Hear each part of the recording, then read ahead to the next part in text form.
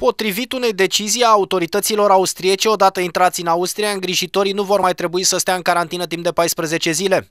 În urmă cu două săptămâni, Camera de Comerț din Austria a organizat două zboruri pentru îngrijitori din România și Bulgaria pentru a contracara o lipsă iminentă în acest domeniu. Două zboruri suplimentare au fost planificate pentru 15 aprilie. Asociația care se ocupă de intermedierea românilor în Austria a primit răspuns din partea Guvernului României.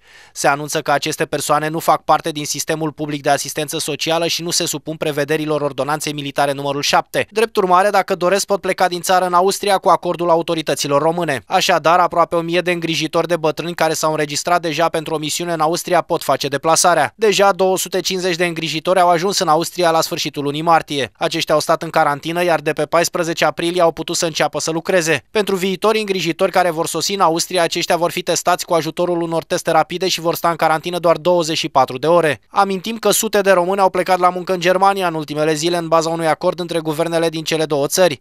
O solicitare pentru muncitorii români a fost făcută și de autoritățile din Italia.